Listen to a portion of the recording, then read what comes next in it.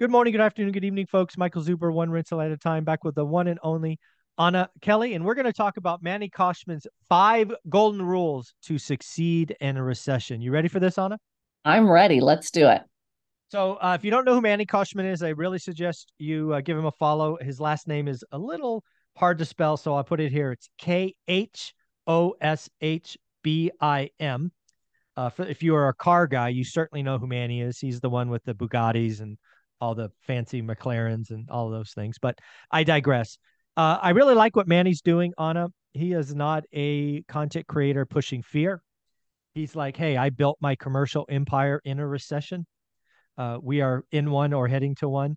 And these are my five golden rules. So I'll go through them quickly, and then you and I can talk about what we think are the right ones. You ready? I'm ready. One, cut the fat, basically reduce expenses. Two, raise cash right? Or access to cash. Three, do the work, right? What is it your thing? Is it commercial, residential, stocks, whatever? Four, be patient.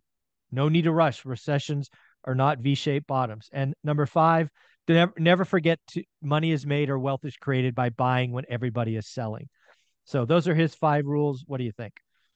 I'd give him a five for five. I told you right before we started, I don't know who this person is, to be honest with you. So I don't follow him, but um, I like all five of those rules at this time. Yeah. So you and I have been through a couple of recessions, right? We're we're older than uh, we just have, right? We are we are who we are. uh, when you think about how you have dominated and how you're set up to dominate this one, what are one or two of Anna's golden rules? They they could be different than what Manny listed. Sure, I like all of those. I really do. The other two things that I would just kind of throw out there at the top of my head is one, you have to know your financial goals, right? You have to know why your financial goals are still important. And if there's a shift in your financial goals for a certain reason, then you need to really focus on making sure that the deals that you do do, he talks about consistency and patience, they have to actually work to fit your financial goals. This is a time when there's a lot of fear. It also creates a lot of uncertainty. So people tend to get squirrel syndrome. They said, maybe I should change what I'm doing. Maybe I should go buy gold. Maybe I should buy oil. Maybe I should buy a commercial real estate. Maybe I should flip a house. They don't know, right? And so people get very easily distracted and just trying to chase yield and don't think enough about what is my primary financial goal. And I'll give you an example, right? If your primary financial goal is you don't have enough income coming in, your primary financial goal should be I need more income. So don't go invest in things that aren't going to pay you for three years. They have huge upside and risk if you don't have enough income to survive day to day, focus on deals that bring you income. So that's the first one. Yeah. Uh, the first one I would give you, and again, I've learned this personally, right? So I have a big scar on my back, virtual scar from from learning this lesson, and that is check your ego at the door, right? When the market pivots, when we go from a growth to a recession, uh, some of you, myself included, were wildly successful, and then the market changed and it bit you in the butt. Some of you still haven't acknowledged that you were lucky. No, mm. you're not Warren Buffett. You were lucky. So humble yourself, see what's going on, maybe get a little smaller. Don't, this is not the time to go all in uh, because, you know, you did two flips and made some money. Uh, the market has changed. So um, humble yourself would be my first one. Absolutely. It's super important because listen, the last 10 years, we've all looked like rock stars and we've made some really good decisions, right, that have helped us. But people that have made a lot of mistakes still did really well because the economy was expanding. Now the economy is clearly contracting. And so you have to not only be good, but you have to time things right. You have to make wise investment choices, right? So, in addition to being patient um, and being humble, I, I'd say two other things. One is don't go it alone the, if I could mm. change one thing from the beginning of the last major recession, it's that I got jaded. I met a couple of dishonest people and I thought, forget it. I'm just going to do it my own, on my own. It took me a lot longer to figure it out because I didn't surround myself with wisdom from people that had been there before. And so, you know, this is a time to say, let's surround myself with a network of educated people who have integrity, who have competence, who have experience, and continue to learn. So, back to being patient, you might have to go a little bit more slowly, but you need to make sure you're really educating yourself on the type of investing that you're doing and what happens when markets shift like they are. Um, what kind of risks are there, and how do you maybe need to mitigate a little bit some of the things you're doing to take advantage of opportunities, but also to really think about how to mitigate risk. And you do that with the network. Yeah, the last one I will tell you is um, you got to watch your mindset, right? Yep. And fear is is front and center, and it's it's it's not going to go away right? Yeah. you beat that to your point by being around a network of people uh, that you can lean on right? You could share you, you can you could share you could be vulnerable and they will help you and say yeah we've been there this is what we did that you know this that the other thing. Yeah it, this is not a t- time to retreat. There will be many wonderful businesses grown here. There will be many wonderful deals done deals of a lifetime done in a recession.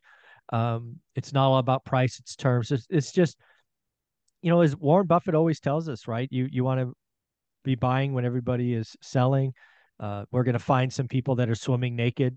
Maybe there's an opportunity to pick up some stuff. So it's um, you know, as somebody who has built the callus to not be afraid and actually is excited now, I do appreciate that not everybody has uh, has done that. But you know, fear's real. You have to acknowledge it, but you know, you've got to move on. This is the time to strike. Absolutely. And, you know, I, I was talking to my mastermind group last week about um, a, an interesting study that I did, which talked about two sides of the brain the amygdala and the hypothalamus. And one controls fear and emotional response. It's like your fight and flight, uh, fight or flight instincts. And, the, and it stresses your, it puts your entire body, your mind, everything into fight or flight. And the other side is like let's have hope, let's have calm, let's rationally think through things. What's really interesting is that your brain develops continual neurons and connections that tend to favor one side or the other. So, based on how things have gone in the past, if you've had fearful things, you're going to react more fearfully, right? And your blood flow can only go to one side of the brain or the other at the same time. So, you have to know what is my default? Am I defaulting into fear? There's uncertainty. I'm afraid the guy I didn't want to win the election won the election. I'm afraid, right? Inflation goes higher than I thought. I'm afraid. You have to train yourself to say, I'm not going to dwell there and make decisions based on fear. Because if you're making decisions based on fear, they're rarely good de- decisions. You have to train yourself to say, I may be afraid, but how can I have hope and courage in the midst of fear to continue to make a wise, rational decision and to keep move forward and not getting paralyzed? And so in in recessions and in these market cycles there's also this cycle of emotions right? At the height everyone looks like a rock star there's fear of missing out um, and there's just this irrational exuberance. And as things start to come down we're like oh maybe it's not so good. And then we're a little nervous and then suddenly we're like panic fear. At that point of panic fear 70% of us are going to feel that right we have to say, are we going to do what everybody else does and react on fear and lose a lot of money or stagnate and miss opportunity? Or are we going to recognize that that same emotion that we want in sellers to make us be able to find a good deal and make money, you know, be greedy when everyone's fearful, we're impacted by those same emotions. And so I had to pull myself out of that wallowing in fear and despair in 2009 when everything wasn't going my way. And it really wasn't until I got that grit and resilience to say, you know what, I'm not going to wallow in this. I have to take action. So I'm going to have courage to continue to move forward in the facing in the face of fear. And and grit and determination is more of an indicator of how you'll succeed through this than how smart you are, how much money you save, you know, all, the patience and all those other things. Grit and determination, resilience and mindset is extremely important.